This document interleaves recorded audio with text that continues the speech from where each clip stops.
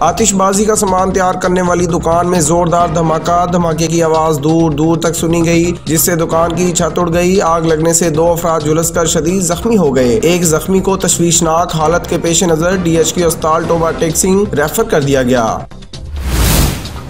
Mianwali district police officer Hassan Asad Alvi کی خصوصی ہدایت پر D S P circle Pipla Shahid Nazir کی سربراہی میں پپلا پولیس نے ڈکیتی راہزنی، نقب زنی اور چوری کی وارداتوں میں ملوث گینگ کا سراغ لگا کر دو ملزمان کو گرفتار کر کے مال مسروقہ برامد کر لیا۔ D S P circle Pipla Shahid Nazir نے ایس ایچ او تھانہ پپلا محمد نواز لالی کے ہمراہ تھانہ پپلا میں پریس کانفرنس کرتے ہوئے بتایا کہ نئے سال دو ہزار بیس کے پہلے ماہ تھانہ پپلا کے ایس ایچ او اور ان کی ٹیم نے بہترین کارکردگی کا مظاہرہ کرتے ہوئے مختلف علاقوں میں ہونے والی وارداتوں میں ملوث گینگ کے افراد کا سراغ لگا کر ہزاروں روپے کی نقدی زیورات، سولر پلیٹ، استری اور دیگر گھریلو سامان برامد کر کے گینگ میں شامل دو ملزمان شہزاد اور محمد ریاض کو گرفتار کر لیا۔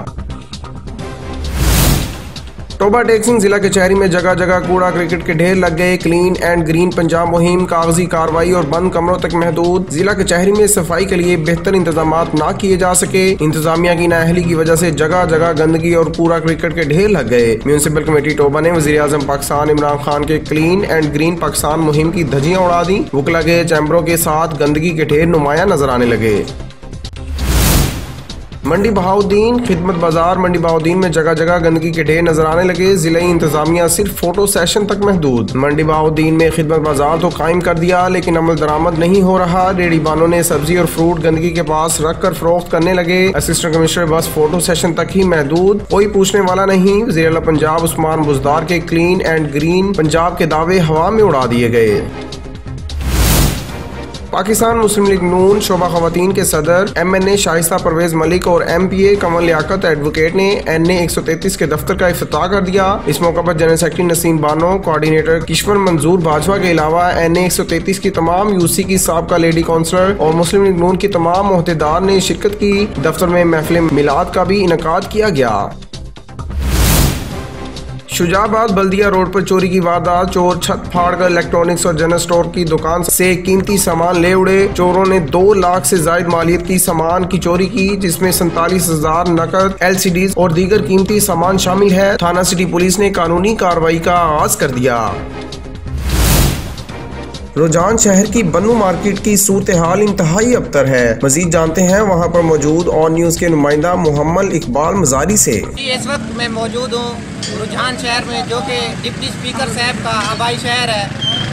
رجحان کے مین مارکیٹ، بنو مارکیٹ میں موجود ہوں۔ یہ پیچھے جو حالات نظر آ رہے ہیں یہ سیوریج کا سسٹم مکمل طور پر تباہ ہے۔ بہت بار ہم ٹی ایم او کے پاس گئے ہیں۔ یہاں پر لوگ موجود لوگ احتجاج کر رہے ہیں۔ ان کا کہنا ہے کہ ہم بہت دفعہ ٹی ایم او کے عملے کے پاس گئے ہیں۔ کچھ کام نہیں ہو رہے۔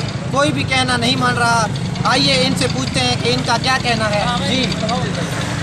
جی بالکل یہ اس کا چھ مہینے سے دکھ رہا ہے ہم بہت بار احتجاج کر چکے ہیں ٹی ایم او کے عملے کے پاس گئے ہوئے ہیں لیکن ہمارا کوئی سنوائی نہیں ہو رہا ہے ہم اعلیٰ اس بات کا نوٹس لینے کے لیے مطالبہ کر رہے ہیں اور یہاں پہ احتجاج کر رہے ہیں کہ اس میں جلد از جلد صفائی کی جائے۔ جی ان کا کہنا ہے کہ ہمارا ڈپٹی اسپیکر صاحب سے گزارش ہے کہ وہ اپنے آبائی شہر کا صفائی کریں۔ ڈپٹی کمشنر ذوالفقار صاحب اور اسسٹنٹ کمشنر عثمان غنی صاحب اور یہاں کے عملہ ٹی ایم او سے گزارش ہے کہ یہاں پر جلد از جلد اس نظام کو بہتر کیا جائے۔ Muhammad Iqbal Madari on news Rojhan. شور کوٹ حکومت پنجاب اسپتالوں میں اسپیشلسٹ ڈاکٹرز کی کمی کو پورا نہ کر سکی۔ تحصیل ہیڈ کوارٹر اسپتال کے چلڈرن وارڈ میں صرف ایک چائلڈ اسپیشلسٹ ڈاکٹر موجود ہے جو کہ ناکافی ہے۔ چائلڈ اسپیشلسٹ ڈاکٹر روزانہ کی بنیاد پر ڈیڑھ سو سے زائد مریض بچوں کا چیک اپ کرتا ہے۔ اسپتال میں بچوں کا چیک اپ کروانے کے لیے آنے والے شہریوں کا کہنا ہے کہ اس چلڈرن وارڈ میں روزانہ کی بنیاد پر تحصیل بھر سے متعدد مریض لائے جاتے ہیں اور ایک ڈاکٹر سب مریضوں کو چیک نہیں کر سکتا۔ متعدد مریض چیک کروائے بغیر ہی واپس لوٹ جاتے ہیں۔